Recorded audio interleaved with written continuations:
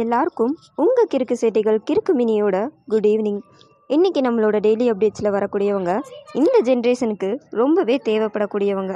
இவங்களோட வயசையும் அனுபவத்தையும் கேட்டிங்கன்னா நீங்கள் ஷாக் ஆயிடுவீங்க. இப்போ இருக்கிற நாம் காலையில் பத்து மணிக்கு எந்திரிச்சு பதினோரு மணிக்கு காலையில் சாப்பாடை சாப்பிட்டுட்டு பன்னெண்டு மணிக்கு மொபைல் ஃபோன் எடுத்தா யாரு கூட கடலை போடலாம் யாரை வம்புக்கு இழுக்கலாம்னு தோணும். அப்படியே மணிக்கணக்கா.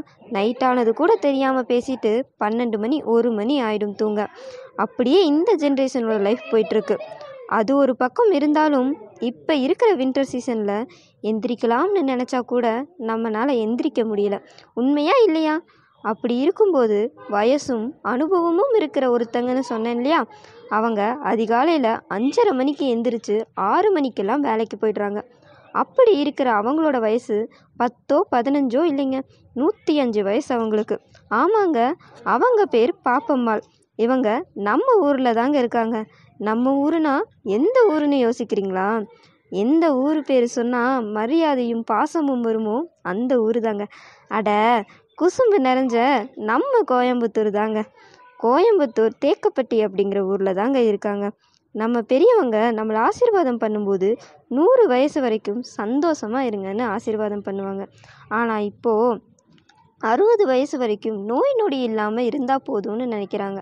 அப்படி இருக்கிற இந்த காலத்தில் எப்படி இவங்க நூற்றி அஞ்சு வயசு வரைக்கும் ஹெல்த்தியாக இருக்காங்கன்னு நினைக்கிறீங்கல்ல? அவங்க நம்மளை மாதிரி யூரியா டிஐபி அப்படின்னு பல கெமிக்கல் மருந்து கலந்த சாப்பாடை சாப்பிடலங்க. அவங்க சாப்பிட்றது எல்லாமே சுத்தமான ஆர்கானிக் ஃபுட்டுங்க. எந்த கெமிக்கலும் கலக்காமல் சுத்தமான இயற்கை வளங்களால் வளர்க்கப்பட்ட காய்கறிகளையும் கீரை வகைகளையும் தாங்க. அட ஆமாங்க. நம்மளோட பாப்பம்மா பாட்டி சாப்பிட்றது எல்லாமே அவங்களே விவசாயம் செஞ்சு வர காய்கறிகளும் கீரை வகைகளும் தாங்க. அவங்க பண்ணுற வேலை என்னென்னு தெரியுமா? கரெக்டுங்க ஆர்கானிக் ஃபார்மிங் தாங்க. அவங்க அறுபது வருஷமாக ஆர்கானிக் ஃபார்மிங் தாங்க பண்ணிகிட்டு இருக்காங்க.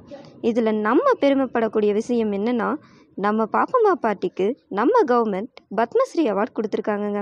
அவங்க ஆயிரத்தி தொள்ளாயிரத்தி ஐம்பத்தி ஒன்பதில் நம்ம கோயம்புத்தூர் காரமடை பஞ்சாயத்தில் கவுன்சிலராகவும் இருந்திருக்காங்கங்க.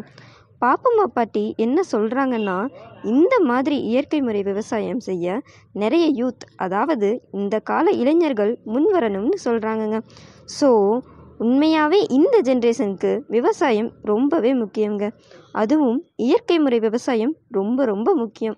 அதனால் இப்போ இருக்கிற நிலத்த ஃப்ளாட் போட்டு விற்காம எல்லாரும் முன் வந்து இயற்கை விவசாயம் பண்ணணுங்க.